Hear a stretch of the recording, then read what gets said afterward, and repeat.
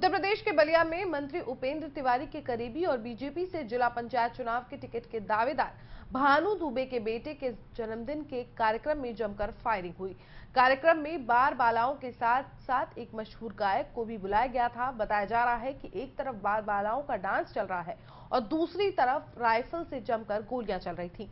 तभी अचानक से गोली सीधा बिहार के मशहूर गायक गोलू राजा को लग जाती है गोली लगने से पूरे कार्यक्रम में अफरा तफरी मच गई जिसका वीडियो सोशल मीडिया पर जमकर वायरल हो रहा है। मामले पर एसपी देवेंद्र नाथ ने बताया कि मामले पर मुकदमा दर्ज कर कार्रवाई की जा रही है। ग्राम महाकरपुर में भानु दुबे के लड़के का जन्मदिन था। रात्र में कार्यक्रम चल रहे थे। उस कार्यक्रम के दौरान किसी व्यक्ति ने फायरिंग कर दिया जिसमें एक गायक राजा आए थे। उनको चोट लग गई और वाराणसी गए। क्या स्थिति है सर अभी राजा की? उनकी स्थिति ठीक है जैसी बातचीत हुई है। डॉक्टर से भी बातचीत की गई है।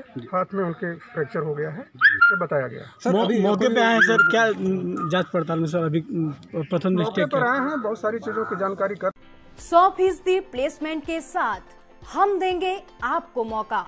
Live 24 media institute admission open registration के लिए कॉल करें।